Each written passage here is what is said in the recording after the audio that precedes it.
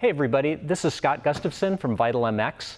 We're at Kawasaki Motor Corporation today. We've got our 2019 KX450 test bike with us, and we're here to show you a couple tech tips uh, that hopefully if you're a new Kawasaki owner, uh, hopefully these tips will make your life a little easier because they are unique to the KX450.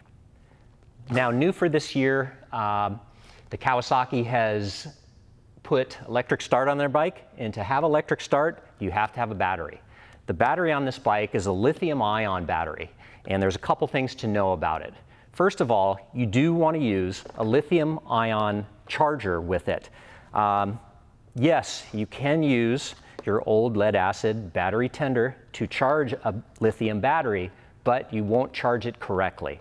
They're different. You can ask an engineer for the explanation, but to do it right, you do need a lithium charger. Okay, now with your lithium charger, the next thing you're going to want to do is this. Um, when bikes get shipped from Japan, um, they'll the batteries themselves they won't receive a full charge, and they'll do that for safety. That's also a reason why your linkage doesn't come with a lot of grease in it.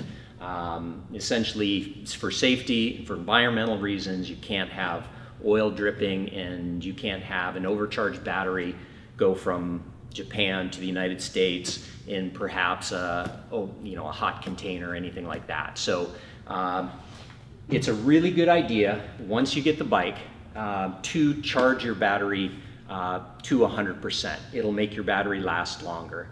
Uh, normally, the dealer will always do this for you, but sometimes you'll walk into the dealership five minutes before six o'clock and you'll want to take the bike right away and it won't get done. So for your own safety and for your own longevity of this battery, it's a good idea to charge it um, before you start riding. Now, a couple things to check for with a lithium ion battery. Uh, the batteries themselves, they have more voltage than a normal lead acid battery. So when you're checking them, uh, you, you know, you'll see the charge, it'll say 12.8, 12.6, and you'll say to yourself, well, that's plenty. This just needs 12 volts. Well, these particular systems need more than 12.8 volts. So anytime you see that, you'll want to charge it. If you see it below 12.8 volts, you'll want to charge it a little more.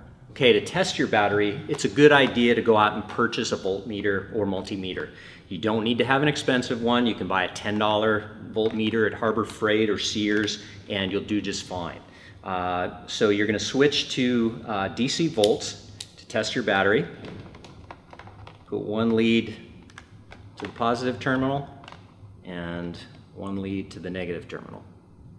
Another um, important tip to remember uh, when working on or around the battery is to remove the ground wire and disconnect the battery so that you don't have a live battery when you're working around it.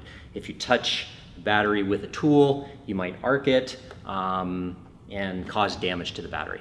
Finally, another nice feature of the Kawasaki battery is the fact that it does have uh, protection. So essentially what that means is if you were to overcharge the battery, uh, the battery will shut itself down until the voltage goes lower, or if you get the battery really hot, uh, the battery will shut off until it gets to a safe operating temperature.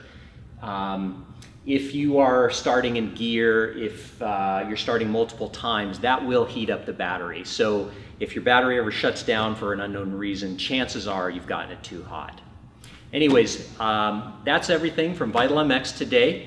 If uh, you like these tech videos, please let us know in the comments below. Also too, if you're a 2019 KX450 owner and you have a tech tip for us, we'd like to hear from you. Um, again, thank you again from Vital MX.